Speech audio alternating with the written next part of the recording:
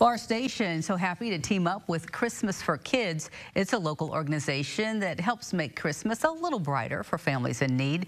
Toys were collected at area businesses and then given to the organization. In exchange, Christmas for Kids able to provide those toys free of charge to families in Sullivan County. They also helped families in the Shakamak School District. Now, overall, the program serves more than 1,000 kids in the area.